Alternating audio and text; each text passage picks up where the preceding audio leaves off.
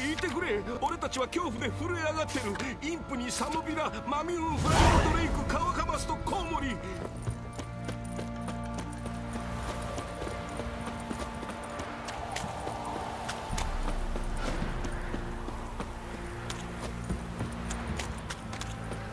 コオロギは好き？噛むの？丸飲みするの？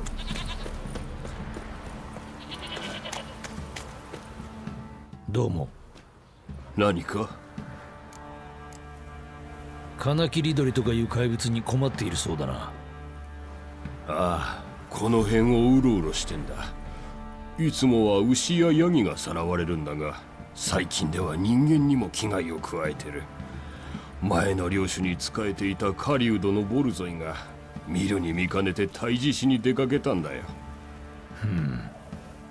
あいつは手斧を持って野原に入る堀のところでカナキリ鳥を待ち伏せた。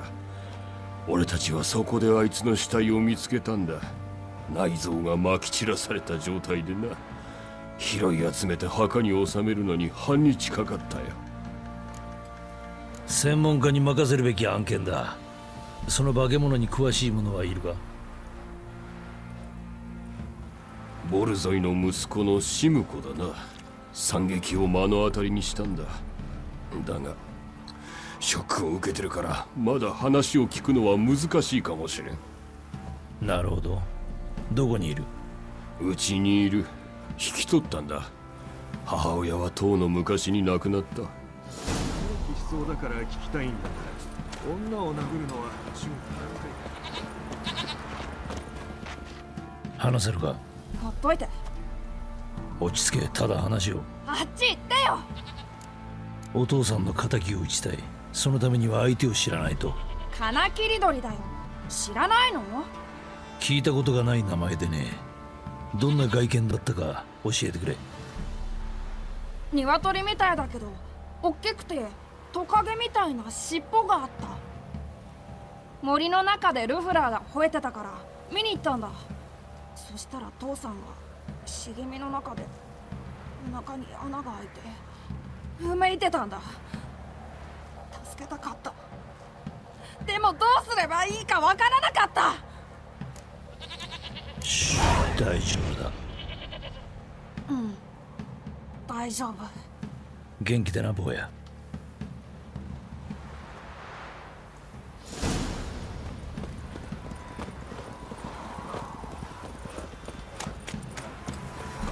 そこのあなたちょっと覗いてください。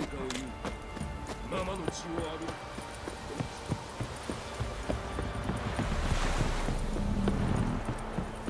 ノビグラドの娼婦みたいにお仕置きされたようだな。当然だろ？ウィッチャーに喧嘩売った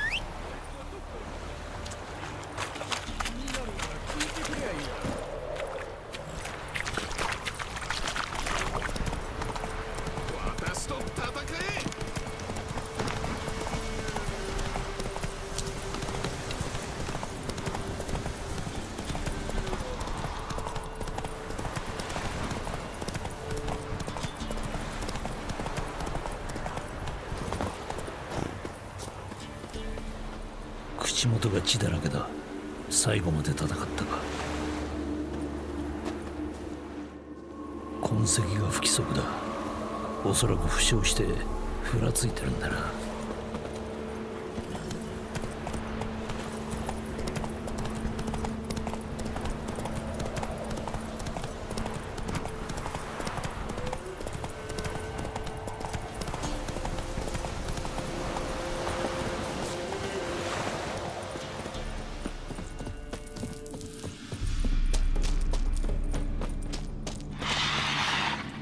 音は上から聞こえた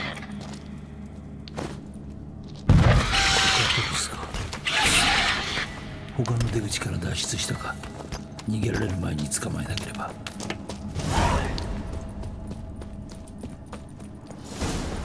あそこか。今度は逃がさない。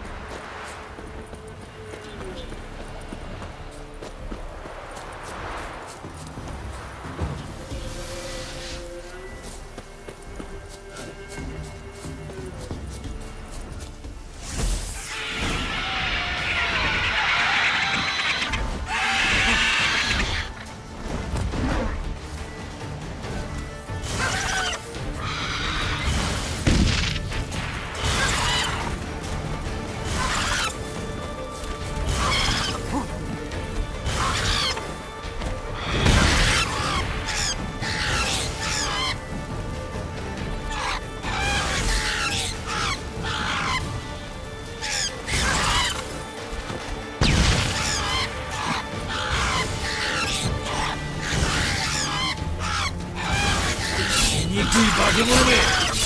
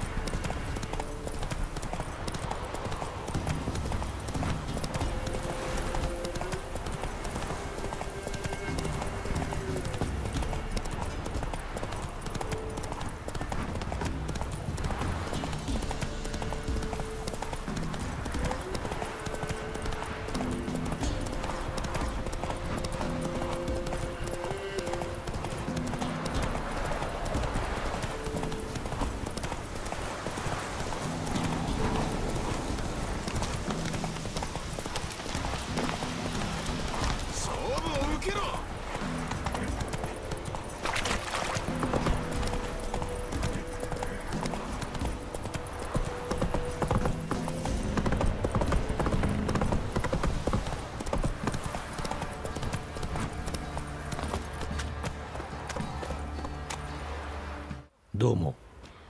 何か？もう怪物に悩むことはない。ありがとうウィッチャーの旦那。お礼だ。多くはないが地獄の沙汰も金次第というからな。金は取っておけ。孤児を引き取って金が必要だろウィッチャーには感情がないって噂なのに心の底からあんたに感謝するよ